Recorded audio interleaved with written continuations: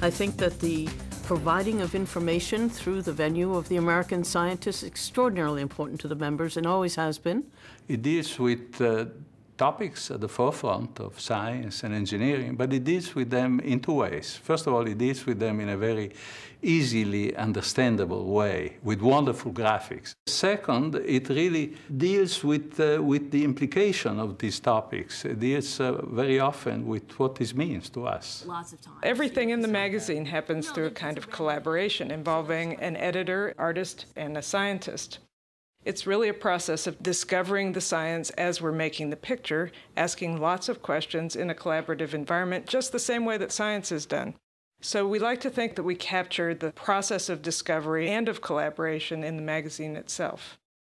Organizations like Sigma Xi and its journals like American Scientist that uh, give people an awareness of what's going on outside their immediate um, context